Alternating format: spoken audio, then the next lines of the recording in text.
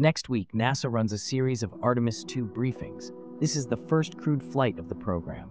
You know, pushing ourselves to explore is just core to who we are. It's a part of being a human. That's our nature. We go out there and we explore to learn about where we are, why we are, understanding the big questions about our place in the universe. The exploration we're doing is the first few steps on the path of getting humans to Mars. Four astronauts, a 10-day loop around the moon on a free return path. Here is what that really tests, what could slip the date, and what to listen for in the briefings. Artemis 2 is not a landing. It is a full-up crew test of the rocket and Orion for deep space. Target launch window is no earlier than 2026. NASA's latest public line lists April 2026. Some reporting mentions a possible move as early as February, but NASA's site still says April. Safety drives the schedule. The mission length is about 10 days. The crew loops around the far side of the moon and falls home on a free return that uses gravity instead of extra fuel to guarantee the trip back. The crew that will be on board of Artemis 2 are Commander Reid Wiseman, Pilot Victor Glover, Mission Specialist Christina Koch, Mission Specialist Jeremy Hansen of the Canadian Space Agency. They will also serve as human research subjects. Think sleep, motion, saliva samples, cognitive tests. That data tunes life support and workload for future missions. The goal is to test the following systems for future missions. One SLS plus Orion together, we already flew an uncrewed loop on Artemis 1. This time the systems run with people on board. Guidance, propulsion, power, comms, crew displays, fault responses. 2. ECLSS. That is the Environmental Control and Life Support System. It controls cabin air, pressure, temperature, CO2 removal, and water. Crew will run it for days, not hours. 3. Comms and navigation far from Earth.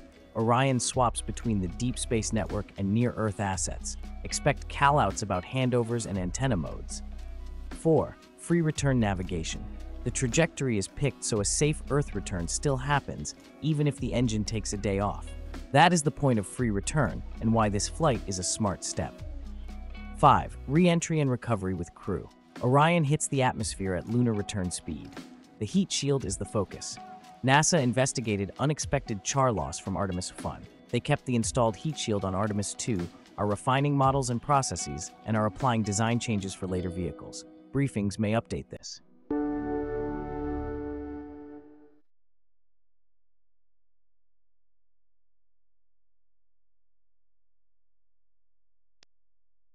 When I was young, I had a poster of the Earthrise picture, the famous picture that was taken on Apollo 8.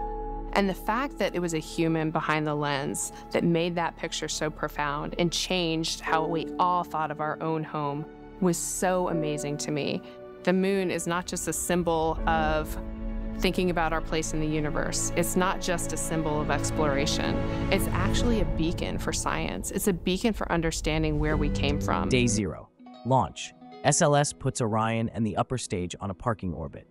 Then the big burn to the moon. Days one to three. Systems checkouts, mid-course tweaks, lunar day, closest approach a few thousand kilometers above the surface. Crew sees the far side. Return days, four days to Earth on free return. Final day, skip entry, parachutes, Pacific splashdown, ship recovery, life support readiness gates. Are any long-duration tests still running on the ground? Heat shield, closeout. Are there new test results or changes to entry conditions?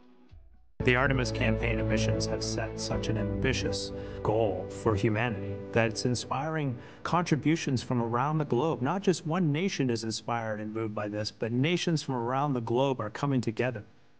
When I look at the Artemis 2 crew with Victor, Christina, and Jeremy, they want to go do this mission. They are keenly driven.